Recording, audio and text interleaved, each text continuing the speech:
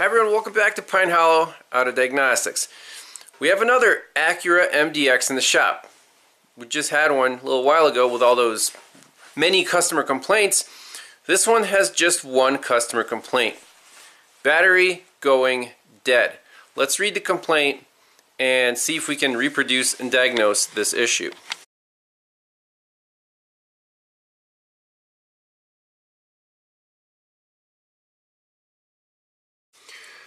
Alright, here we go. Acura MDX 2006 electrical drain. I had a Monro remove the Bluetooth as per your video, but the battery will be dead in 8 to 10 hours and needs a jump. Starts up again.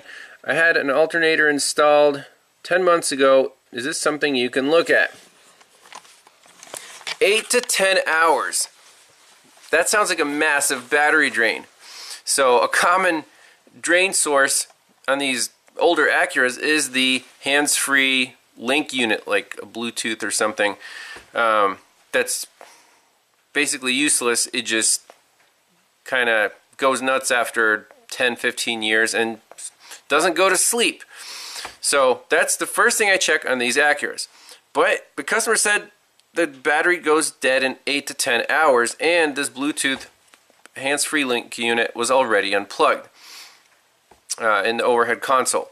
So, okay. Um, he said the, the battery he also had tested at AutoZone, and they said your battery is fantastic. Um, you know, that's not your problem. So let's go to the car, measure the draw, and see if we can reproduce this draw.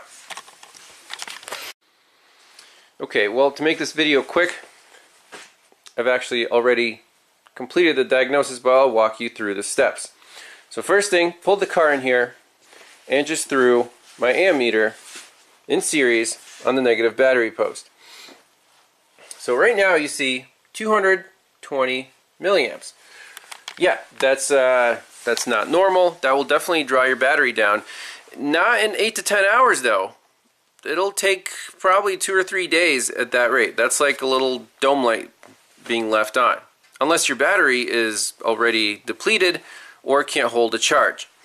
So, but initially, the car went to sleep less than a minute, 16 milliamps. So I thought, oh, here we go, intermittent customer complaint. This might take a while. So, you know, scanned it for codes. Health report didn't show anything interesting, just low battery codes because he's, he's had to jump start it like every day. Um, but 16 milliamps, perfectly fine. So I decided to measure the capacity of the battery. What's the easiest way to do that? No, it's not with a smart battery checker or something that prints out a little, hey, your battery's good. No, that's all garbage. All you want to do, put a voltmeter on the battery and turn your headlights on. So I did that, headlights, low and high beams, it was drawing 25 amps. A good battery should be able to maintain that for, I don't know, 20 minutes or something and still be able to start the car. Well, I noticed on this battery that was fully charged, the customer you know just drove it here, battery voltage is fine, 13 volts. Voltage dropped below 11 volts in less than 5 minutes. You could see it just drop, drop, drop. Try to start the car, da, da, da, you know, classic low voltage. So we know right now that this fresh looking Duracell battery is junk. Uh, it can't hold a charge. I put a charger on it it, it only accepted six, you know, almost seven amp hours, but a good battery should be like 80 amp hours. And, you know, it's fully charged. It's basically being just topped off right now. So, okay, battery's junk. Right after the failed start attempt, again, turn the key off, close the doors, and put the ammeter back on the battery. The uh, in series. Well, guess what? Now it's consistently reading 225 milliamps. Not 16, 220. Like, all right, well, now we reproduce the customer complaint. So basically, this small draw, together with a battery that's been fully discharged and charged, the battery capacity is junk. So that's why it goes dead in 8 to 10 hours. Makes perfect sense now. Now all we have to do is track down this parasitic draw. So let's do that next. So like I said on these Acuras, hands-free link system. That's the first thing I check. So I want to check, did they unplug the right thing? I don't know what they did. That's just what the customer told me. So I want to check the main constant battery power fuse that goes to this hands-free link unit. Is there a voltage drop on there? First thing we're going to check. So which fuse is that? There's a circuit diagram. So it says under hood, sub fuse box number 10 fuse 7.5 amp. If you want to zoom in, you can do that. There it is, white green wire, pin 11 on the hands-free control unit. Okay, so under hood sub fuse box, that would be this little thing right here, fuse 10. And fuse 10 says FI backup can we just pull that fuse? Well, it also goes to the PCM and the TPMS receiver unit.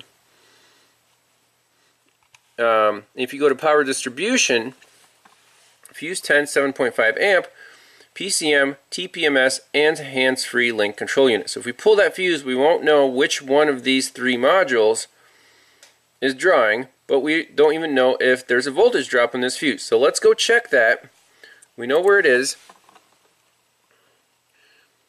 Right here, fuse number 10. So it's going to be the second one, second fuse up in this row. Um, see if there's a voltage drop on that fuse. Alright, so you guys can see the meter there. So that's millivolts. If we touch the two leads together, it should go to 0.00. And it does.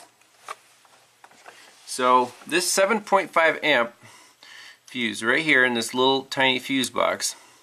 We measure that. What do you see? One. Let me get on that fuse a little better.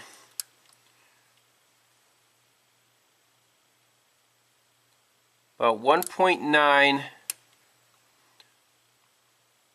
millivolts. So 2.0 millivolts on that fuse. And I checked the other ones just to make sure your meter is good. We'll see zero on all the other ones. So, okay, we're on the right track. Now, since that fuse feeds multiple modules, I want to go right to this hands-free link unit and see what these guys unplugged.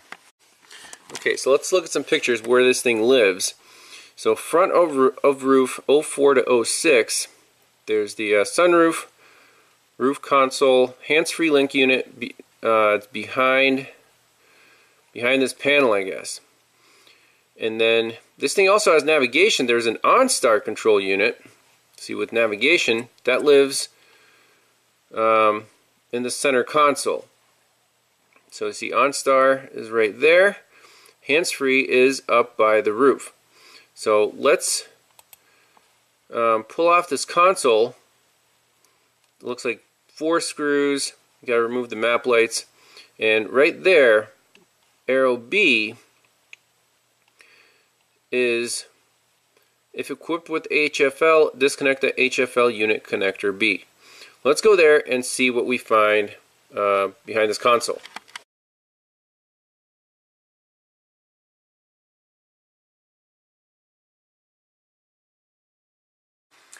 Alright, took a couple minutes, got the console off. So four screws. What do we see here? I see one connector unplugged. Uh, it's a three pin blue to gray. Okay. And where's our hands-free link unit?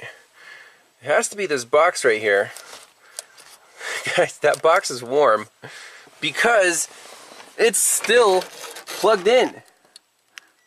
They didn't unplug the Bluetooth, they unplugged the auto dimming mirror. That's kind of funny. So on our thermal camera, oh look at that, nice and warm, like 90 degrees Fahrenheit. so they never even touched the hands-free link unit. They just unplugged the auto dimming mirror. So let me plug the mirror back in, make sure our draw doesn't like spike or anything.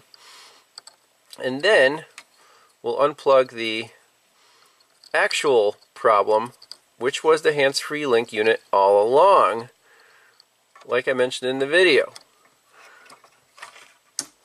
Okay, well, let's get our meter set up. So we've still got our 230 milliamp draw. Let me put this in the window. When we unplug that hands-free link unit, I want this to go to like 10 or 15 milliamps. Alright guys, I'm going to focus you in on the mirror while I unplug this hands-free link unit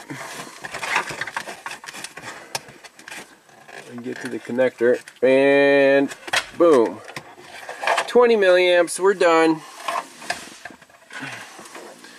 Simply amazing. Alright batteries hooked back up. Hands-free link unit is unplugged. Let's start the car and then shut it off and see what, you know, how it goes to sleep, what the final battery draw is.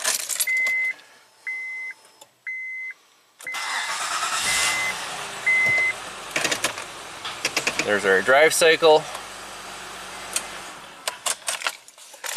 Okay, let's uh, put the ammeter back on.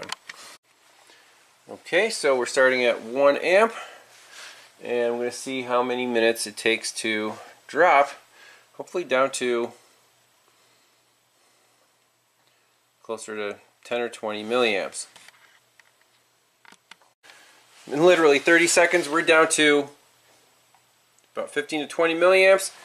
Totally happy with that. And that's it. So what's the moral of the story?